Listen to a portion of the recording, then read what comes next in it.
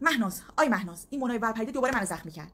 گوش بده کامل باید تعریف کنم چی شد. ببین من چند روز پیش خیلی حالم خوب بود. گفتم بذار از خودم یه عکس بگیرم بزنم تو اینستاگرام انرژی مثبتم با فالوورام تقسیم کنم. با همین 40 50 تا دونه فالوورم. یه چیزی که از خودم یه عکس گرفتم یه روتوش قشنگم کردم یه فیلتر قشنگ انداختم روشم تو اینستاگرام نوشتم که زیبایی در سادگی. یه فیلم عکسم یه شعرم در مورد سادگی نوشتم. از اینترنت پیدا کردم نوشتم زیرش اینا.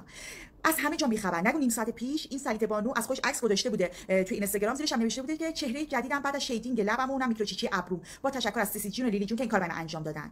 بعدم من اومدم نیم ساعت بعدش این عکس رو گذاشته بودن نگو خانم کینه کرده که من با قصد و قرض این کارو کردم. تو فکر کن از اهل این حرفام آره بابا اصلا از هیچ خبر نداشتم.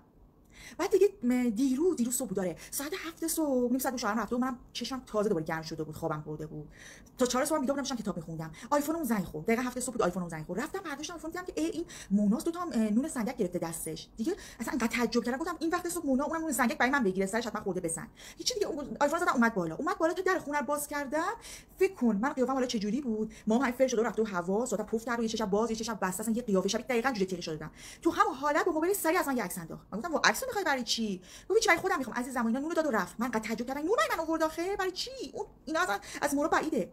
نگو با قشنگ با نقشه بوده. یعنی میگم برای همه کارش نقشه می‌کشه. امروز سکارم کردم رفتم تو اینستاگرام. ببین تو اینستاگرام اومد بالا گفتم خار شی روزگار خار. گفتم اینم شانس ما دیگه. نه جاری ما. فکر کن اون عکس منو برداشته و گوشه تو اینستاگرامش نمیشه. جاری عزیزم در عین سادگی زیبایی. وای همه اومدن زیرش مسخره کرده بودن. یا دوستش نمیشه جاری شبیه سمندون شده. من شبیه سمندونم. خیلی نامرده. حالا من هی بهش سعی می‌زدم. ایشا جواب نمی‌داد که. بعد از دو سه ساعت که همه دیدن و نه مسخره کردن و کامنت گذاشتن و اینا زنگ زده که عزیزم جانم با من کار داشتی؟ گفتم برو اون عکس منو بردار سریته اینقدر جیغ زدم. البته جیغ که نزدم باهاش خوب برخورد می‌کنم. اینجوری صحبت نمی‌کنم خیلی نرم باهاش صحبت می‌کنم.